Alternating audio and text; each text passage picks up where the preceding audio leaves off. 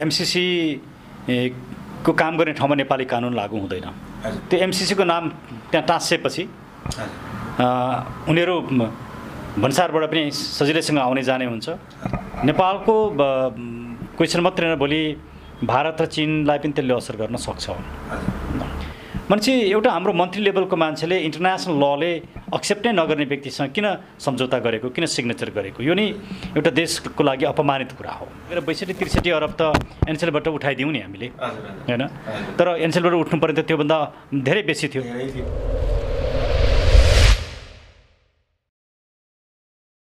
दर्शकबिन नमस्कार। म हरिप्रसाद पाठक। तपाईँहरू हेर्दै हुनुहुन्छ मेकिङ नेपाल। आज म फेरि हाम्रो सुरेन्द्र भण्डारी डक्टर सुरेन्द्र भण्डारी सरकोमा आइपुगेको छु र उहाँसँग केही सामसामायिक कुरा गरौँ।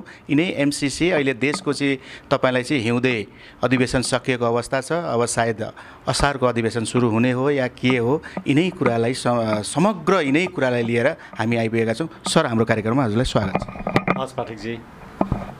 सर यो एमसिसी के हुन्छ त? नेपालमा लागू हुन्छ हुँदैन या यथावत रहन्छ? के छ सर यसको अलिकति एकदम प्रश्न पार्दैन हजुर। अब अहिले दुई चार महिना दुई चार पाँच महिना त एमसिसी संसदबाट पारित नहुने नै भयो किनकि संसदको अधिवेशन नै अन्त्य भएको छ। अब अर्को बर्खे अधिवेशन सुरु भएपछि सायद फेरि यो एजेन्डा आउँछ। अब त्यो कहिले सुरु हुन्छ? दुई महिना चार महिना कति लाग्छ? अब त्यो कन्टेक्समा किनकि अहिले के देखिँदैछ भने नेपाली काङ्ग्रेस एमसिसीको लागि लागि परेको छ। ओलीजी पनि एमसिसीको पछाडि हुनुहुन्छ। हिजो प्रचण्डजीहरू सत्तामा आउँदा उहाँहरूले नै एमसिसी ल्याएको। हो अब अहिले उहाँहरू राष्ट्रवादी बन्न अलिकति ढाकछोपको राजनीति गरिरहनु भएको छ।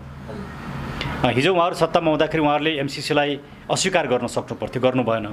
त्यसले समग्रतामा सत्तामा पुग्ने एउटा भर्याङको रूपमा यी राजनीतिक दलहरूले विषयवस्तुलाई हेर्छन्। तर हाम्रो दृष्टिकोण के हो भने अहिले एमसिसीको बारेमा मुलुकमा तिनवटा दृष्टिकोण छन्। एउटा नेपाली काङ्ग्रेस केपी ओली लगायत प्रचण्डहरू लगायतका यी सत्तामा बसेकाहरूको एमसिसी नभइकन हुँदै हुँदैन एमसिसी त साह्रै राम्रो पैसा आउँछ मुलुकलाई यो त पास गरिहाल्नुपर्छ भन्ने जुन विचार छ यो एकदमै घातक छ। यो विचारले मुलुकको हित हुँदैन।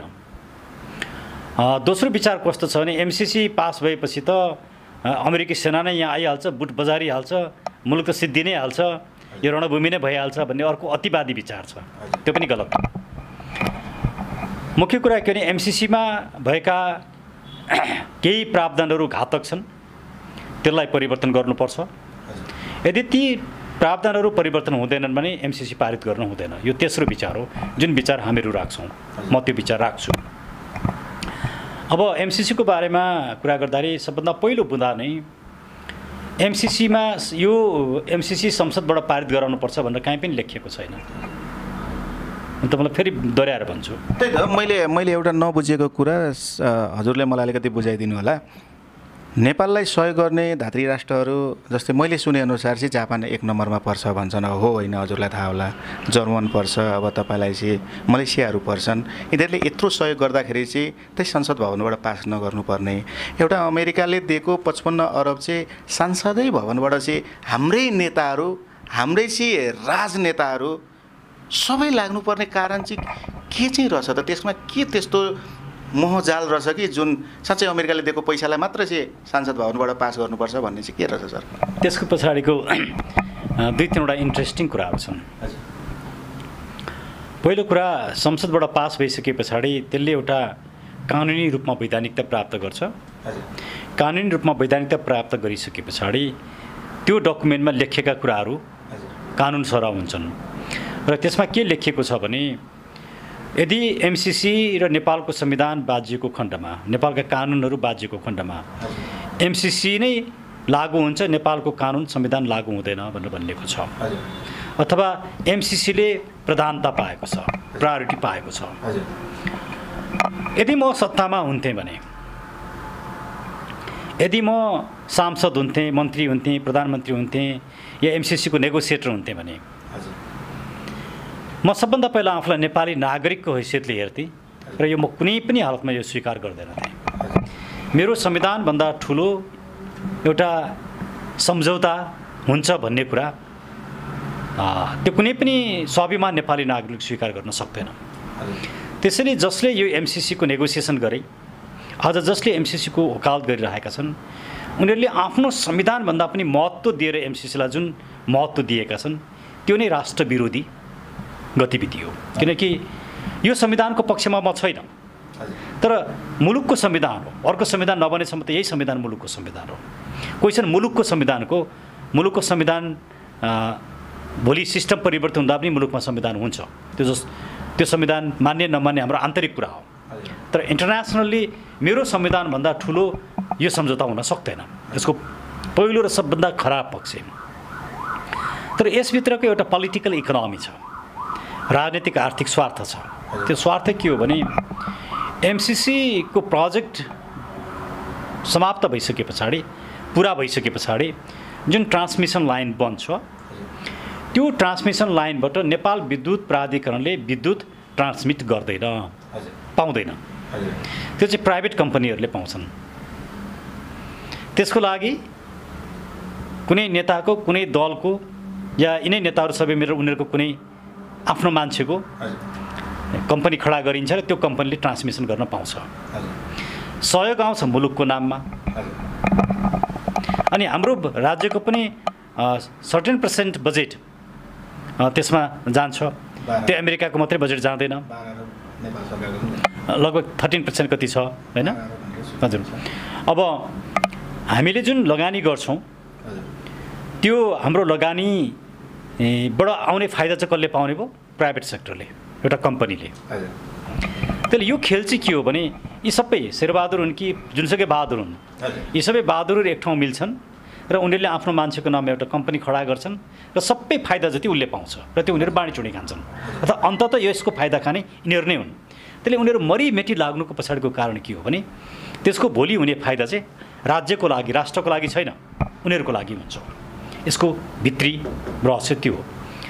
अब अर्को रहस्य चाहिँ अहिले जुन एमसिसीको अफिस नेपालमा छ त्यो त्यसले काम गरिराखेको छ। जब यो अग्रिमेन्ट नै संसदबाट पास गर्नुपर्छ भने त्यो अफिस त गैर कानुनी हो नि। किन त्यो अफिसलाई काम गर्न दिएको छ? त्यो अफिसले कुन आधारमा काम गरिरहेछ? कि त यो देखाइएको एमसिसी हुन त सरकारले देखाएको छैन। जुन एमसिसी डकुमेन्ट बाहिर छ त्योभन्दा पनि थुप्रै अरू अग्रिमेन्टहरू गरेको हुनुपर्छ। यी सबै कुरा चाहिँ ट्रान्सपारेन्ट छैन। त्यसैले हामीले के भनेको छौँ भने एउटा हाई लेभल कमिसन बनाऊ त्यो पनि स्वतन्त्र मान्छेको उसमा। र एमसिसी मुलुकको लागि कति बेठिक कति ठिक यो सबै विषयमा व्यापक रूपमा छलफल हुनुपर्छ। र त्यो प्रतिवेदन आइसके पछाडि मात्रै एमसिसीका गलत कुरो हटाएर मात्रै यो सम्झौता पुरै रिन्यू गरेर मात्रै पारित गर्न सकिन्छ। अदरवाइज नो एमसिसी भन्ने हाम्रो अडान हो। जस्तै तपाईँले अहिले यिनै एमसिसीका कुराहरू भन्दै गर्दाखेरि अहिले विभिन्न अभियन्ताहरूले के भनिराखेका छन् भने हिरा खानी चाहिँ चितवनमा छ त्यो पनि लाने उनीहरूको एउटा सोच हो। मुस्ताङमा पनि त्यस्ता धेरै चिजहरू छन् खनिजहरू छन् त्यो पनि लाने नीति हो। उसले पचपन्न अरबको एउटा नाटक देखाएर खरबौँ रुपियाँ चाहिँ यहाँबाट लानको लागि पनि त्यो एउटा चाहिँ योजना हो पनि भन्छन् नि सर। के के हो त सर यो? होइन अब नेपालमा जुन क्षेत्रमा यो ट्रान्समिसन लाइन जाँदैछ जहाँ बनाइन्छ त्यो ठाउँमा त्यसका आसपासका ठाउँहरूमा युरेनियम छ विभिन्न महत्त्वपूर्ण खनिज पदार्थहरू छन् भन्ने कुरा त म छापछाप्ती आइराखेकै छ।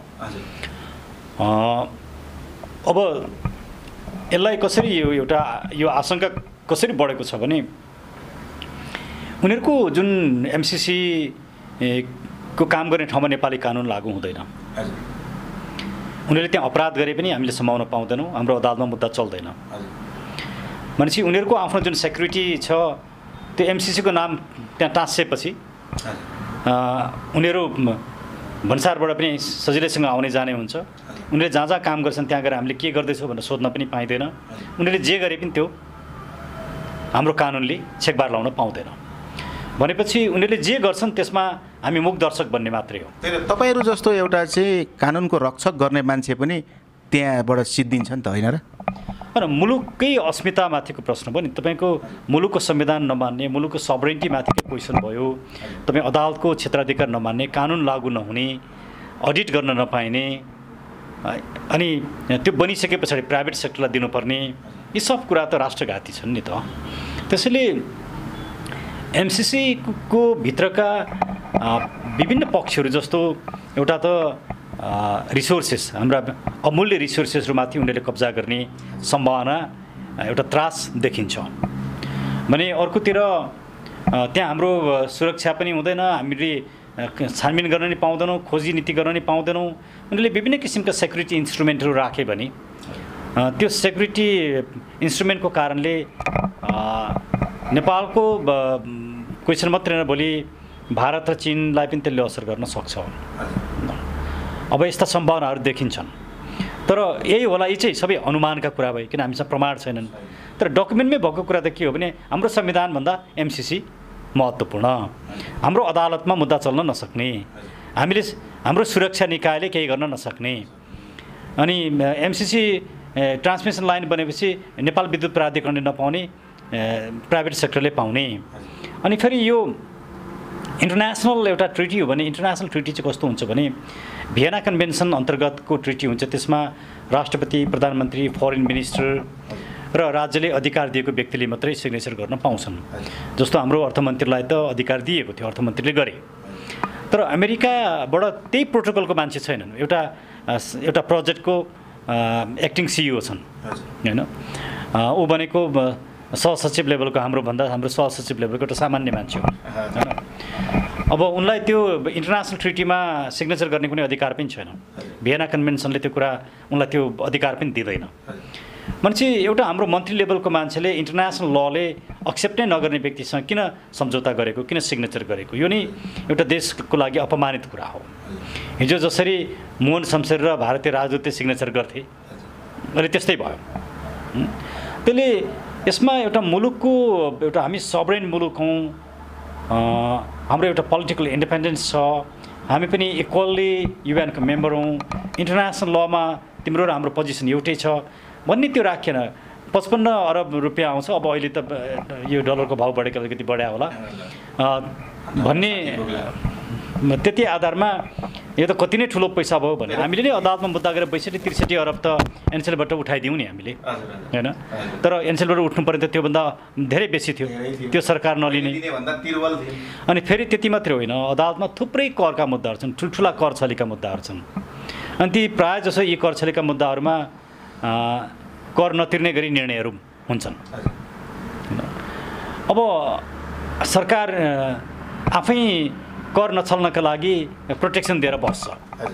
सानातिना करदाताहरूलाई टुप्पी समाउँछ। अब अरबौँ खरबौँको जहाँ प्रश्न आउँछ त्यहाँ सरकार आफै इन्भल्भ भएर कर छलीको लागि सहयोग गर्छ।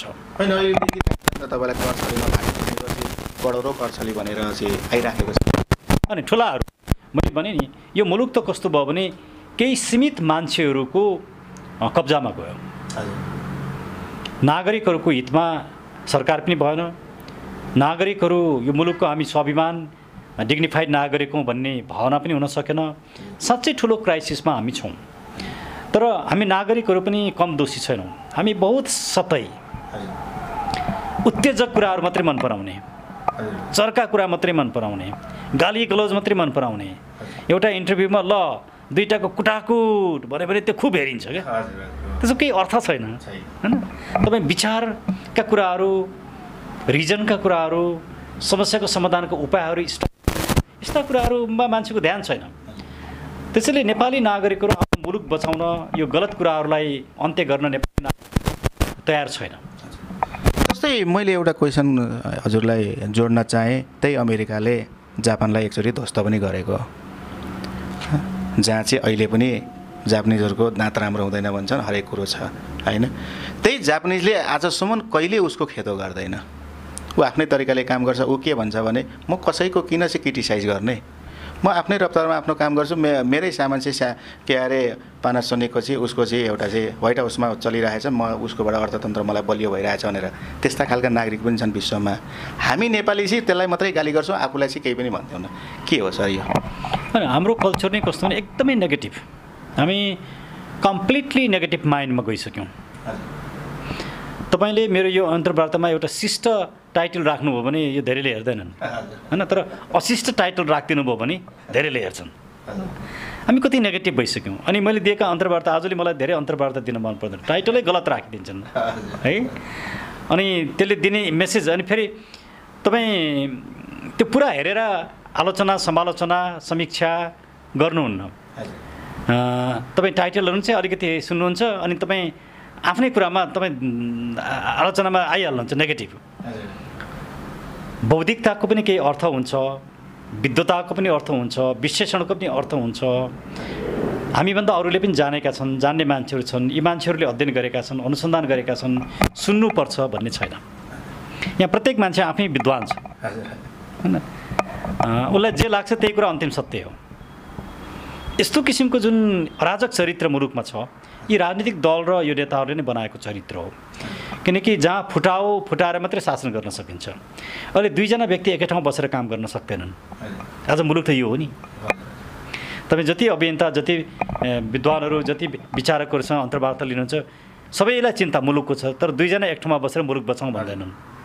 अनि यस्तो अराजक भिडले मुलुक बचाउँछ मैले यहीँनिर हजुरले यति राम्रो कुरा गर्दै गर्दाखेरि हिजो कसैलाई अध्यक्षको पद पाएनन् कसैलाई उपाध्यक्षको पद पाएनन् होला। एक सय पचासवटा पार्टी बनाए आज एक सय पचासवटा अध्यक्ष पाए उपाध्यक्ष पाए। उनीहरू त्यसमै रमाइ रमाएर देश लुटिरहेका छन्। तपाईँहरू पनि एउटा चाहिँ अभियन्ता चाहिँ अहिले मैले चाहिँ अब धेरै अभियन्ताहरू देखेँ ज्ञानेन्द्र साईदेखि लिएर पुण्य प्रसाईदेखि लिएर यावत डेलीराम खनाल को को को भन्छन्। अथवा तपाईँहरूको पनि अहिले त्यस्तै छ। यी सबै एकै ठाउँमा चाहिँ आउन नसक्नुपर्ने कारण के? उहाँहरू सबैलाई नै पदै चाहिएको रहेछ। अब देश सिद्धियोस् सिद्धियोस् मलाई पद र पैसा र मैले गर्न मैले एक्लै गरेको भनेर सान देखाउन पाए हुन्थ्यो भन्न खोजेको के हो क्या सर यो? फ्रेङ्कली एकदम फ्रेङ्क सबभन्दा ठुलो कमजोरी तपाईँहरूको। तपाईँ भने तपाईँको होइन मिडिया। किनभने हामीहरूलाई पनि कहाँनिर के छ सुधार्ने मौका हुन्छ। तपाईँहरूले मान्छेको क्वालिटीलाई नै तपाईँहरू हेर्नुहुन्न। तपाईँहरूलाई अलिकति बेसी भ्यू गयो त्यहाँबाट दुई पैसा आयो भन्ने भयो भने तपाईँहरू त्यसैको पछि दौडिनुहुन्छ। तपाईँहरूको जुन स्वार्थ छ हामी सबैको स्वार्थ छन् होइन? त्यसले यहाँ प्रत्येक मान्छे अभियन्ता प्रत्येक मान्छे नेता प्रत्येक मान्छे विचारक तपाईँको विद्वता रिजन शिक्षा यी सब कुराको केही अर्थ छैन। त्यसको लागि सबभन्दा ठुलो दोषी चाहिँ मिडिया छ। फेरि मिडिया त यही समाजको प्रोडक्ट हो। तपाईँ मेरै प्रोडक्ट हो। तपाईँको प्रोडक्ट म हो होइन? किन तपाईँ हामी त एकअर्कासँग गाँसेका छौँ नि? तपाईँ राम्रो हुनुहोला म राम्रो होला। म खराब होला तपाईँ राम्रो हुनुहोला। यतिले मात्रै समस्याको समाधान हुँदैन। इट्स होल आज हाम्रो सिङ्गो समाज क्राइसिसमा छ। हामी धेरै ठुलो क्राइसिसमा छौँ। यसबाट निस्किनका लागि समाजले राइट मान्छे चिन्न सक्यो। समाजले पार पाउँछ। राइट विचार चिन्न सक्यो पार पाउँछ। तर समाज राइट विचार राइट मान्छे चिन्दैन समाजले। समाजले उत्तेजना मात्रै चिन्छ। चर्का कुरा मात्रै समाजलाई मनपर्छ। त्यसको कुनै अर्थै हुँदैन। समाजलाई विचार होइन घटना मात्रै मनपर्छ। घटना त एकछिनमा हुन्छ बर्सिदिन्छ घटनाको अर्थ हुँदैन। त्यो घटना त्यति हो। विचार कस्तो हुन्छ सिङ्गो मुलुकलाई रूपान्तरण गर्ने त्यसमा खाका हुन्छ। आज हाम्रो क्राइसिस भनेको एक ठाउँमा सानो ठाउँमा एउटा सानो क्राइसिसमा हामी रुमलिएका छैनौँ। तपाईँ ठुल्ठुला मिडियालाई हेर्नुहोस् उनीहरूको सबै उनीहरूको मिडियामा हेर्नुहोस् त्यो टेलिभिजन हेर्नुहोस् या पत्र पत्रिका हेर्नुहोस् को प्रधानमन्त्री हुने कहिले सरकार ढाल्ने कसको सरकार बन्ने यस्तै कुरामा सीमित छ। जबकि त्यो समाधान होइन मुलुकको मुलुकले खोजेको कुरा त्यो होइन। ओलीको ठाउँमा अर्कोको सरकार बन्नु अर्कोको ठाउँमा अर्कोको सरकार बन्नु। त्यसले मुलुकको समस्या समाधान हुँदैन। मुलुकका आजका समस्या के हुन्? ती कुराहरू उनीहरू लेख्दैनन् त्यो कुरा बोल्दैन ती समस्याको समाधान कसरी गर्नुपर्छ? त्यो उनीहरूको चिन्ताको विषय छैन। उनीहरूको चिन्ताको विषय के हो भने अतिरञ्जित रूपमा कुराहरू राख्ने। ती अतिरञ्जना र हिलो छ्यापाछ्यापबाट आफ्नो ग्राहक बढाउने पैसा कमाउने। मुलुकलाई माया गर्ने व्यक्ति धेरै कम भए। सीमित स्वार्थ र पैसाको पछाडि हेर्ने हिँड्ने धेरै भयो त्यसले यो जुन क्राइसिस जसरी मुलुकमा डिप भएको छ यो क्राइसिसलाई सम्बोधन गर्न सक्ने मैले तत्कालसम्म मैले देखिरहेको छैन। त्यसले तपाईँले भने ठिक हो अब हामी पनि पार्टीमा जाँदाखेरि अर्को एउटा पार्टी थपिन्छ। तर हामी त्यति मात्रै ठान्दैनौँ। हामीले जुन विचार राखेका छौँ जुन समस्याको हामीले विश्लेषण गरेका छौँ जसको समाधान हामीले अगाडि दिएका छौँ हामी अरू पार्टीभन्दा बिल्कुल फरक छौँ। अब त्यो कुरा नेपाली नागरिकले बुझेन भने त्यो हाम्रो मात्रै दुर्भाग्य होइन मुलुकको दुर्भाग्य हो। अब मैले थोरै फेरि एमसिसीतिर फर्किन चाहेँ। केही व्यक्तिहरूको मैले इन्टरभ्यू पनि हेरेँ उहाँहरूले के भन्नु भने नेपालमा एमसिसी पास भयो भने नेपाललाई चाइनाले कब्जा गर्छ। एमसिसी पास भएनन् भने यहाँका ठुला ठुला नेताहरूको घाँटी रेटिन्छ पनि भन्छन्। के हो सर यो साँच्चै के चाइना एमसिसी पास हुँदा चाहिँ चाइनाले हामीहरूलाई चाहिँ कब्जा गर्ने अथवा नहुँदा हाम्रा नेताहरूको चाहिँ अवस्था नाजुक हुने हो र? म त्यति धेरै अतिरञ्जित कुरामा म विश्वास गर्दिनँ। अतिरञ्जना चर्का कुरा गरेर त्यसले फाइदा हुँदैन। त्यो वास्तविकता होइन। एमसिसी पास हुँदाखेरि हो चिनको आफ्ना निश्चित स्वार्थहरूमा केही असर पर्ला तर त्यतिकै आधारमा चिनले नेपाललाई कब्जा गर्ने भन्ने कुरो त्यति सजिलो कुरा हो त्यो होइन त्यस्तो हुँदैन। एमसिसी पास नहुँदाखेरि नेताहरूको घाँटी नै रेटिन्छ त्यस्तो पनि होइन तर यिनीहरूले जति यिनीहरूको स्वार्थ त्यसभित्र जुन लुकेको छ त्यो स्वार्थ पुरा हुँदैन। उनीहरूलाई सत्तामा आउनको लागि गाह्रो हुन्छ। उनीहरूलाई एमसिसी पास गर्दा सत्तामा आउन सजिलो हुन्छ किनकि अमेरिकनहरूको पनि साथ समर्थन सहयोग रहन्छ। ती कुराहरू हुन् तर अतिरञ्जित कुनै पनि कुरालाई अतिरञ्जित बनायो भने त्यो राम्रो हुँदैन। त्यसैले मैले अघि पनि एमसिसीको बारेमा तिनवटा दृष्टिकोण एउटा एमसिसी नै यो मुलुकको भाग्य विधाता हो। यो खड्गप्रसाद ओलीले अ, महाकाली पास भएपछि त यहाँ कसैले केही गर्नै पर्दैन काम गर्नै पर्दैन सबैलाई बसी बसी खान पुग्छ भनेर जुन भन्थे। त्यो अतिरञ्जित सोच अहिले पनि छ। अर्कोतिर एमसिसी पास भएपछि त अमेरिकन सेना आउँछ यहाँ बुट बजारिन्छ मुलुक नै सिद्ध्याइहाल्छन्। भन्ने अर्को अतिरञ्जित दृष्टिकोण छन्। यी दुवै दृष्टिकोण गलत हुन्। त्यसले हामीले जुन दृष्टिकोण बनाएको छौँ कि एमसिसीका गलत कुराहरू खारेज हुनुपर्छ हटाइनुपर्छ। एमसिसीलाई पूर्ण रूपमा परिमार्जन गर्नुपर्छ। त्यसको लागि एउटा हाई लेभल कमिटी बनाउनुपर्छ। त्यसले अध्ययन गर्नुपर्छ र एमसिसीका सबै डकुमेन्टहरू सार्वजनिक गरेर पिपुललाई छलफल गर्न दिनुपर्छ। अनि त्यो समितिको त्यो कमिटीको रेकमेन्डेसनका आधारमा मात्रै अगाडि बढ्नुपर्छ। हामी अब अन्तिम अन्तिममा आइपुग्यौँ अन्तिममा आफ्नो केही भनाइ बाँकी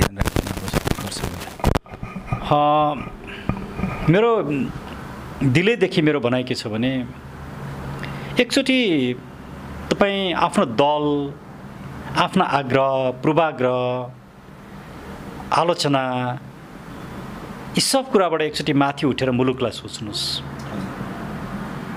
मुलुक कहाँ दुखेको छ? किन बिग्रिएको छ? के गर्दाखेरि मुलुक सप्रिन्छ भन्ने कुरा आवेशमा आएर उत्तेजनामा आएर आग्रह र पूर्वाग्रहमा आएर होइन नागरिक भएर सोच्नुहोस्।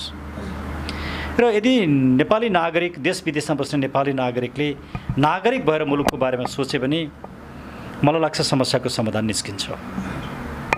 यहाँका विद्वानहरू विचारकहरू टेलिभिजनमा बोल्ने यसरी अन्तर्वार्ता दिने यी सबैलाई पनि म के भन्छु भने तपाईँ हामी सबैलाई मुलुक दुखेको हो भने तँभन्दा म ठुलो मभन्दा तँ ठुलो तँभन्दा म जान्ने मभन्दा तँ जान्ने यस्ता अभिमानका कुराहरू छोडौँ। एकचोटि मुलुकको लागि सबै एक ठाउँमा जुटौँ। हजुरको अमूल्य समयको लागि हजुरलाई धेरै धेरै धन्यवाद। यहाँलाई पनि धन्यवाद हजुर।